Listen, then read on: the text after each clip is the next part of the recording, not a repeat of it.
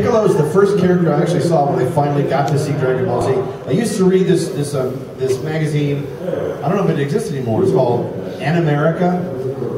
And Animerica would just do a huge cover story each month on a major series, and they did one on Dragon Ball, Dragon Ball Z, it's Dragon Ball Saga and it intrigued me because it's like you know I grew up and I watched you know if you watch Charlie Brown you know Peanuts those kids stay the same age forever and ever they never grow up and it, intrigued me in this one because like these the characters grow up. They have kids. They get married. And then the, the story continues. And then you see the kids story. And it's like that's cool. I mean now they, they it's pretty commonplace. But it's the first time I had ever seen a show really do that. I hadn't seen that in American animation.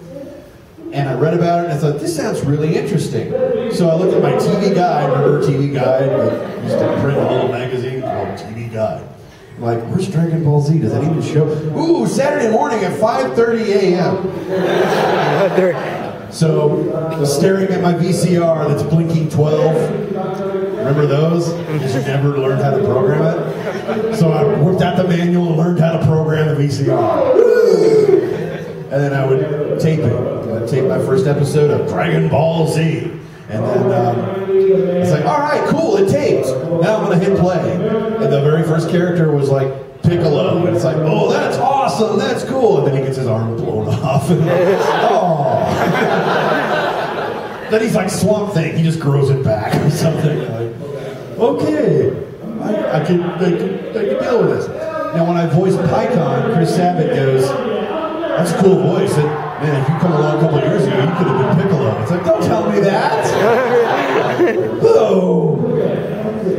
I'm a big Scott McNeill fan. See, I'm, I, I'm kind of influenced by what I heard first, much like many otaku who are like, English sucks. Watch your Japanese. It's like if you watch a show in Japanese, you're used to hearing those voices first, so it's really hard. It's hard to make the adjustment when you hear an English version. No matter how hard we try, it's like it sucks. You know, like sorry, sorry, but um, they hired us.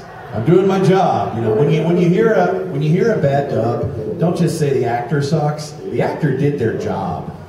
You know, if we didn't do what ended up on the final mix, then we wouldn't have been hired in the first place. It's like, no, I refuse to say it that way.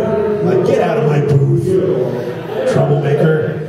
So, we do the job that's active, asked of us. We have to do the performance. Sometimes a little more over the top, sometimes a little flat, a little wooden.